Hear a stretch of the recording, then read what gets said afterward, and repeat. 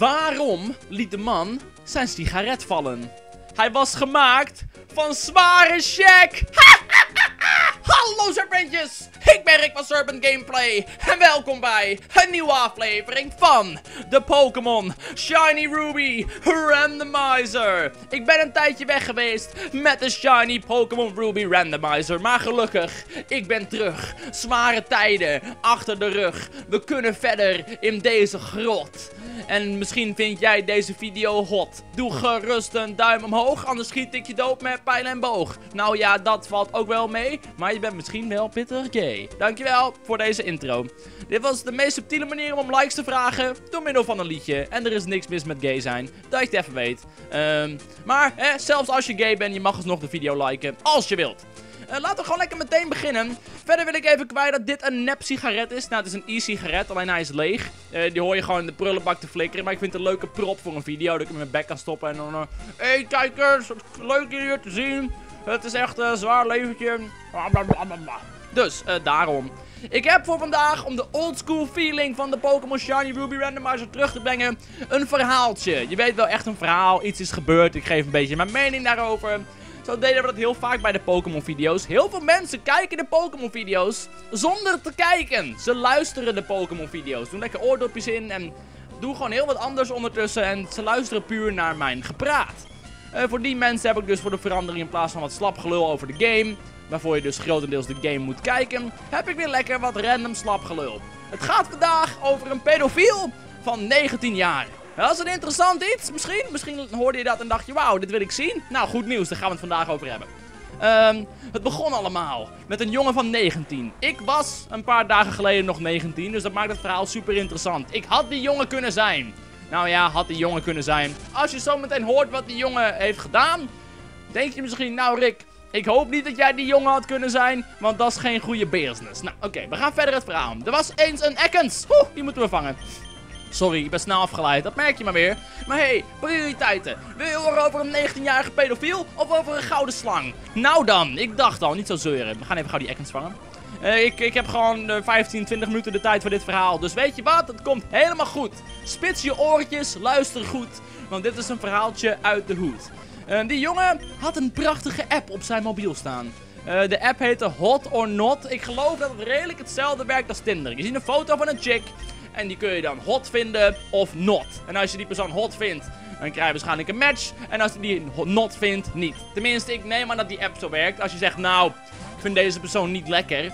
En die andere persoon zegt over jou, ik vind die persoon niet lekker. Het zou heel raar zijn als de app je dan koppelt. hey, jullie vinden elkaar allebei fucking lelijk. Ga lekker praten. Uh, zo werkt hot or not, denk ik niet. Maar hey, ik heb het niet gemaakt. Ik heb het niet gespeeld.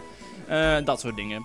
Uh, ik ga jou pik zwart noemen. Waarom? Ik weet niet. Ik vind, er toch het woord pik erin. Het is normaal Nederlands ook. Pik zwart. Ik heb het woord al jaren niet meer gehoord. Maar dat is misschien omdat mensen minder graag over piemel praten. Oké, in ieder geval, die jongen had dus hot or not. En hij had op een gegeven moment een match. Hij had een match. Hij kwam een leuk meisje tegen. En die zei dat ze 17 was. En het was een beetje zo van, hé, hey, je hebt me gehoord. Oh, ik jou, kom, we gaan lekker, lekker bonken. Ik vind bonken een heel leuk woord voor seks, omdat het lekker ruw is. Lekker uh, bonken. Uh. Dus ja, bonken. Als ik bonken zeg, bedoel ik de liefdebedrijven in de vagina. Ja, je snapt hem helemaal. Mooi. Um, jongen en het meisje hadden een match. En ze gingen lekker... Oh, het is een trainer battle, dan kun je inderdaad niet rennen, Rick. Ze gingen lekker bonken. Uh, dat meisje zei op Hot or Not dat ze 17 was. En ze praten een beetje en het klikte wel. En ze gingen gezellig op een date. En dat was helemaal fantastisch. Maar, uh, dat meisje was een soort van... Ik weet niet of ze echt weggelopen was van huis, maar... Ze, ze, was half vermist, dus de ouders hadden de politie gebeld, want ze was al een tijdje niet thuis geweest. En op een gegeven moment kwam ze gewoon netjes thuis van haar date. En ze had een beetje haar verhaal verteld aan de politie en alles was goed. Totdat enkele dagen later de politie bij de jongen van 19 aan de deur stond. Nou, dan kun je natuurlijk weten waar dit heen gaat. Dat meisje was eigenlijk 6. Dat is niet waar.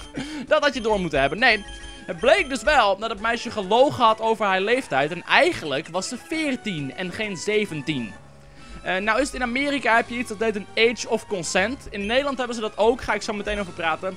Houdt er dus op houdt, komt ongeveer op neer dat als je onder de 16 bent en je hebt seks, dan zeggen ze eigenlijk, ja sorry, je bent onder de 16. Je weet zelf niet eens wat goed voor je is. Dus als je onder de 16 en iemand heeft seks met je, is het gewoon een soort pedoverkrachting. Want je bent 16 en je mag niet zelf bepalen wat je leuk vindt. Dat is de age of consent.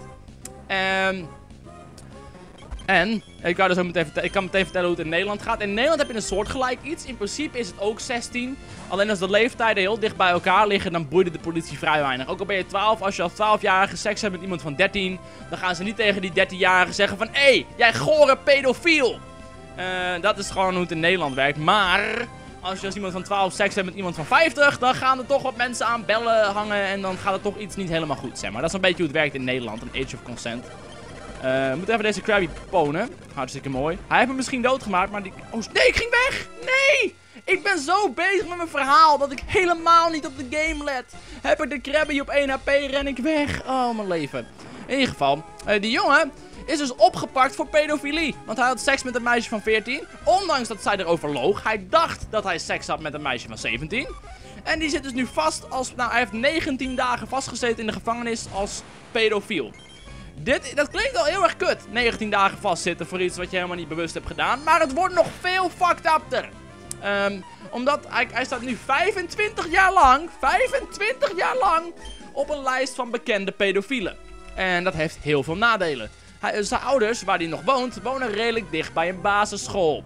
Als pedofiel mag je niet meer dan bijvoorbeeld een kilometer dichtbij een basisschool wonen. Je moet verder dan een kilometer van een basisschool afwonen. Dus hij mag niet meer thuis wonen. Hij moet uit huis omdat hij dichtbij een basisschool woont. Terwijl hij is helemaal niet seksueel aangetrokken tot kinderen van 12. Dat is helemaal niet zijn ding, denk ik. Dat is vet kut. En het wordt nog beter. Nou ja, eigenlijk niet. En ik heb juist deze stenen verpest per ongeluk. Um, dan denk je, nou, dan gaat hij dus een kamertje zoeken. Kan ook niet.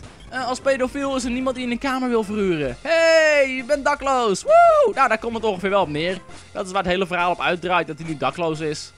Nou ja, dakloos, dakloos. Het gaat in ieder geval niet... Hij heeft weinig dak. Het, zijn dakje is een beetje loos. En ja, de hele, hele, hele zaak is gewoon fucked up. Vooral omdat het, probleem ligt bij dat meisje. Die liegt over haar leeftijd. Als ze had gezegd dat ze 14 was, had hij het waarschijnlijk nooit gedaan. En toch krijgt zo iemand een stempel pedofiel. Terwijl een pedofiel is, ik zal het woord uit elkaar pluizen, pedo. Is, is, het Griekse pedos is uh, Grieks voor kind. En fiel is houden van. Houden van kinderen. Die persoon houdt niet van kinderen en is toch een pedofiel. Dat is een beetje als dat ik uh, uh, lekker avondeten heb gehad. Lekker, uh, een lekkere dikke tarwe havermout met chocolade doorheen. Dat het maar één grote bruine brei is. En opeens komt de politie en die zeggen... Wow, Rick, je bent poep aan het eten. Nee, nee, dat is geen poep. Het is chocolade. Oh nee, het is echt poep. En dan de gevangenis in moet en 25 jaar op een uh, lijst staan met beruchte poepeters. Dan kun je het ongeveer mee vergelijken. Uh, het was niet mijn bedoeling om poep te eten. Het gebeurde gewoon. Maar toch sta ik op de lijst van beruchte poepeters en kan ik nu geen baan krijgen. Het is gewoon fucked up. Um, dus ja, dat.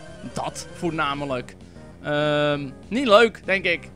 In Nederland hoef je dus niet al te veel zorgen te maken. In Nederland zijn we daar heel liberaal in. Wij zijn niet heel snel van het pedofiele oppakken. Zolang het leeftijdsverschil klein is. Maar in principe is er nog steeds een consent leeftijd van 16. Alleen in Nederland doen ze er echt alleen wat mee als ouders of de persoon zelf daar problemen mee heeft. Uh, dus ja, als je seks wil hebben met iemand van 14, check even de moeder en de vader. Hé, hey, mam, pap van Linda. Uh, zou ik uh, er even mogen bonken of niet dan? Dat zeg je. heel netjes. Zeg je nog, hey, mam en pap van Linda, zou u, je moet wel u zeggen, dat is netjes, het fijn vinden als ik Linda bonk? En zeggen ze, wat is bonken? Ja, zeg maar zo pam pam pam in de kut. zonder condoom. En dan zeggen ze, ja, dat is helemaal top, doe je ding. En dan kan er niks misgaan. Je krijgt misschien een klap op je bek, omdat de ouders van Linda het niet zo leuk vinden dat jij gaat bonken. Maar hey, dat hoort erbij. Dat is het leven toch? Ja toch? Uh, we gaan echt flink dood trouwens. Deze grot heet Victory Road. Nou, ik merk weinig van de Victory. Wel veel van de road. Oh, fucking Suicune.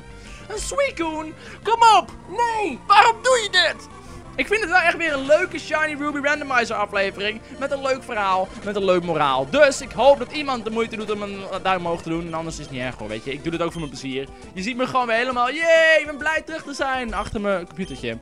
Ik realiseerde me laatst wel weer. Ik ben eigenlijk momenteel gewoon de grootste Nederlandse YouTuber in games die niet super populair zijn. Ik ben zeg maar niet zo'n gast die alleen maar Call of Duty speelt. En FIFA.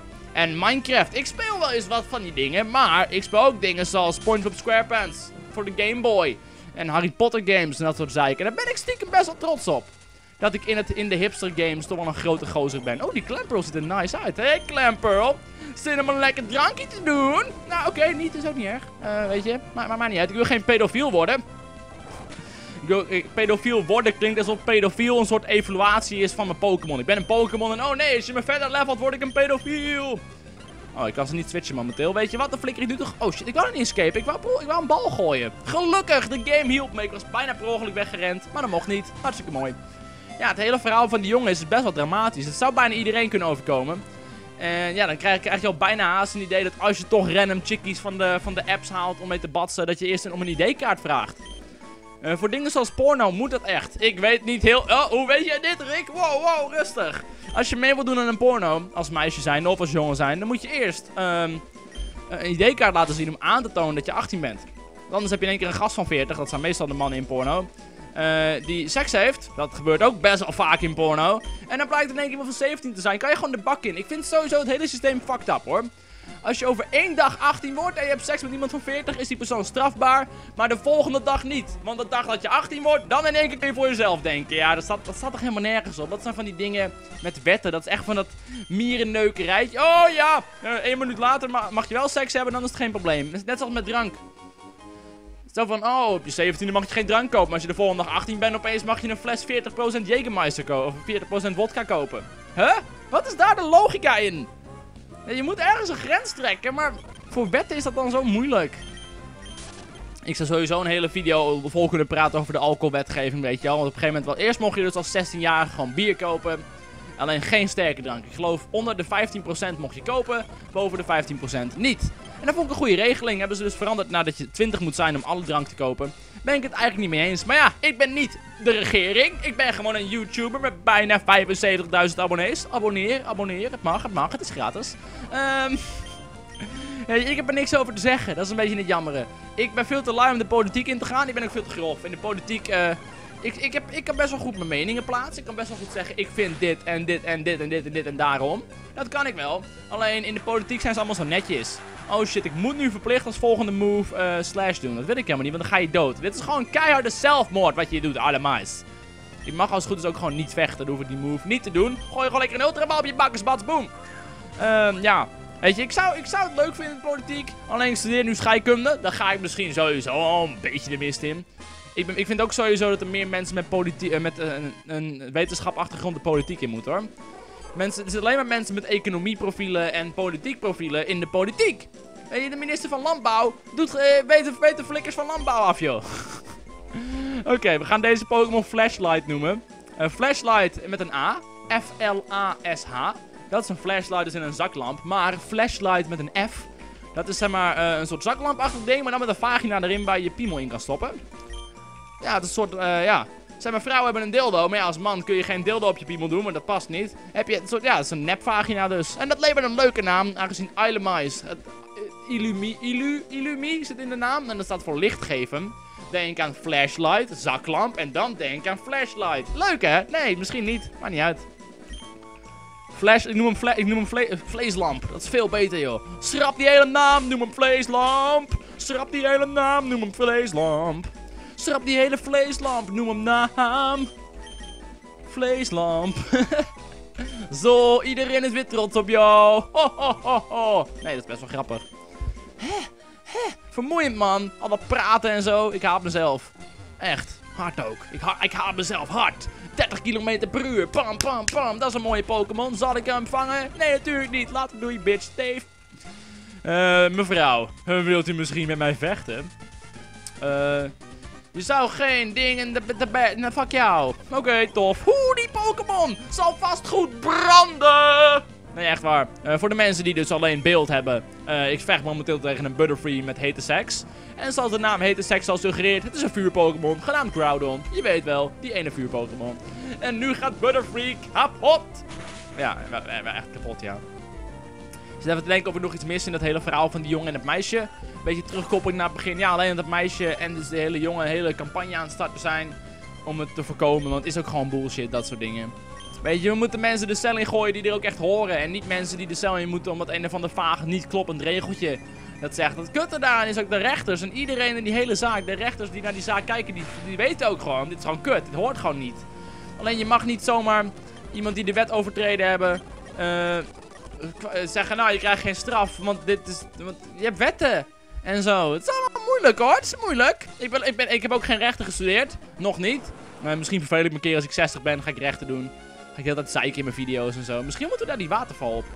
Ik heb alleen geen Pokémon bij me die waterval kan. Keklian ziet er trouwens helemaal niet shiny uit. Nou, ik gewoon even kwijt, Keklian. Geen haat of zo. Geen hater, mijn broeder. Ik noem het gewoon even op. Is een Seedot. Lijkt op een nootje. Later noot. Helemaal naar de kloten. Helemaal naar de noten. Die is goed, die is goed. Of niet dan? Yes. Oké, daar is een trap. Het is best wel een groot dolf hier. Deze man wil vechten. We gaan even heel gauw deze gast afmaken. En dan bedank ik jullie voor het kijken van deze aflevering. Wat vinden jullie daarvan? Die is dood. Hoppakee. Een Geodude. Die maken we ook dood. Heb je nog een Pokémon? Delibird. Ja, die kunnen we niet doodmaken met Earthquake. Delibird is een van de leukste Pokémons in de game. Hij is zo kut om mee te vechten. Hij gooit dus cadeautjes. En de helft van de cadeautjes zijn health. Voor zichzelf. Voor, nee, voor de vijand. De helft van de cadeautjes zijn explosies. Doe je damage. En de helft zijn, uh, is health. Nou, waarschijnlijk is de explosies iets meer. Anders is hij helemaal nutteloos. Misschien 80 om 20%. Maar soms doe je dus een move en dan heal je je vijand per ongeluk. Het is best wel hilarisch. Misschien als je echt een level 100 Delibird hebt, dat je nog best wel damage kunt doen. Dat durf ik niet te zeggen. Lieve kijkers, dank jullie wel voor het kijken van deze aflevering van de Pokémon Shiny Ruby Randomizer. Laat even een duimpje omhoog als je het leuk vindt dat ik weer terug ben met dit soort verhalen gecombineerd met gameplay. Als je dat niet leuk vindt, laat even achter wat je wel wil zien in deze video's. Dankjewel voor het kijken. Tot de volgende aflevering. Dikke vette, dikke vette, dikke vette. Doei!